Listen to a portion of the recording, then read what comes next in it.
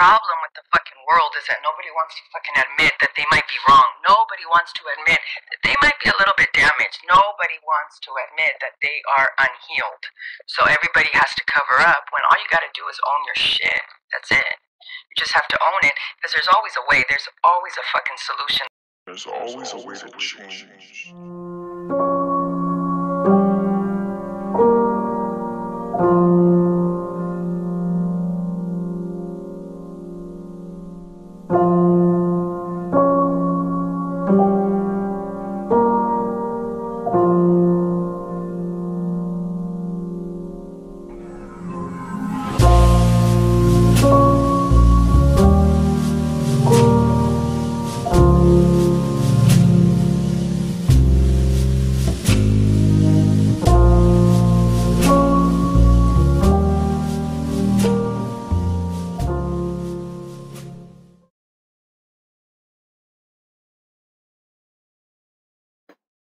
Before you do an attraction spell, know this secret.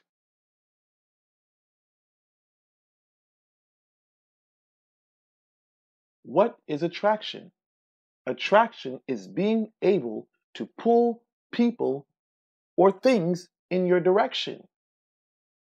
Now, if you're not able to do that naturally, you won't be able to do it if you take it to a metaphysical level. You have to understand the basics of attraction on earth before you try to take things terrestrial. There's a lot of people out here, they wonder why they can't find a date.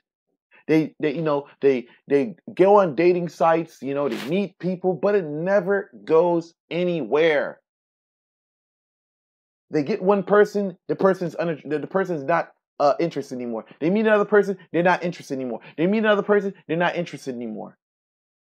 The problem is not in people. The problem is you. You have to examine yourself and ask yourself, what am I doing which can be repelling people that I meet? Examine yourself. Most people are not conscientious of the things they do, the things they say. There was one young lady on a post, and she mentioned something about a rival. She said he, she thought he was kind of cute, but he's missing a few screws. Or she said he has loose screws. Sometimes you can have the looks, but the things that come out of your mouth make you so unattractive. You repel people. You, some people think just because they got looks, they can attract anyone. That's not true. Because a person will look at you and then hear the things that come out your mouth, and they'll be like, you know what? It's a done deal. It's a wrap. I'm not even talking to this person anymore. Just because a person has looks, it doesn't mean that they're attractive. You can be attractive, but your attire throws people off. You don't wear deodorant. You just wear any rinky dink fucking shit, and you think that guys or women are supposed to be attracted to you. You're wearing rundown shoes. You know, you're wondering why the person leaves you for someone else that dressed better than you, that takes care of themselves.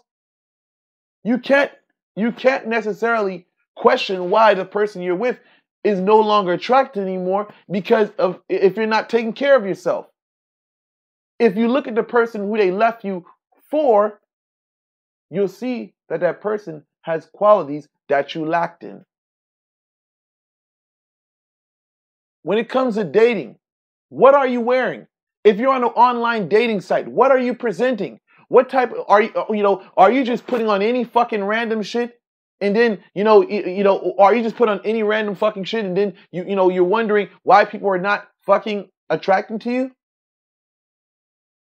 Or the things that you write. What are you looking for? You know, you know, you don't jump into this, oh, you know, I'm going to get married. You got to check everything that you're saying. If you're on a dating site, you want to get to know someone before you start talking about possible marriage and things of that nature because you can repel people. You haven't even sat down to get to know a person. The first thing that comes out your mouth, is I'm trying to get married, whatsoever. Repelling people. You meet up with someone, you know, you don't, you know, you meet up with someone, your shoes are dirty, you know, you're wearing sweaty clothes, you're not wearing deodorant, you're repelling people. You meet up with people, you know, then you, you know, you, you wishy-washy, you know, you, you know, you're here and there, you're repelling people. People want to experience a good time. People truly desire uplifting vibes. People don't want downward vibes. Even in ignorance, people are looking to be happy. People are looking for that euphoria. Can you provide that? That's what people are looking for. This, you know, she's fine. I can go out with her. I can, you know, what do you think arm candy is? People want to show you off.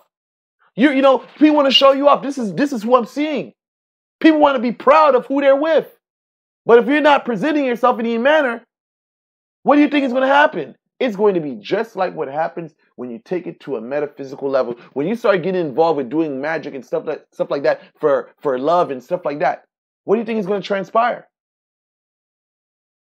It's going to be for a minute the person's going to look at you and then they're going to turn their head the opposite way because they they the, the spirit is motivated to look at you but when they look at you they look up and down they size you up uh-uh i don't want to deal with that person you know change your speech don't always jump on a negative try to keep the conversation positive you know, because sometimes some people meet, it's every single fucking day. Oh, uh, I, I, I'm just pissed off. I'm depressed. I got this thing going on here. You know, I'm just having. Who the fuck wants to hear that shit? Things like that repel people. So, with that said, I conclude this video. Thank you guys for watching. Like, share, and subscribe.